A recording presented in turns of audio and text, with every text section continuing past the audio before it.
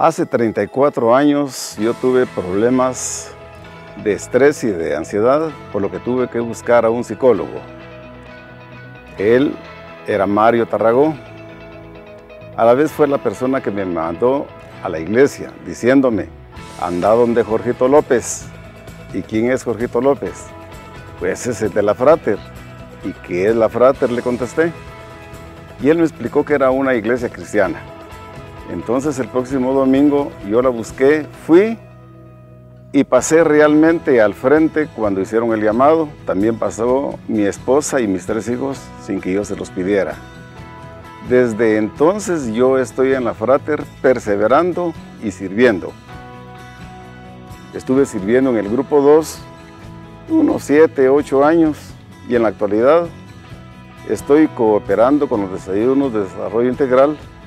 Estoy también en el Ministerio de Consejería y a la vez atiendo en la entrevista final de todas las personas que van a casarse.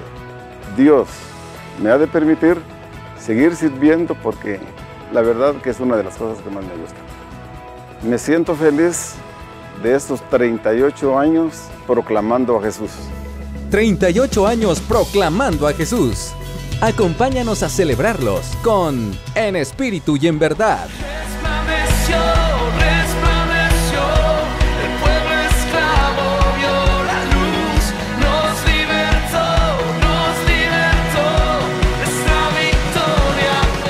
y Vicente Montaño.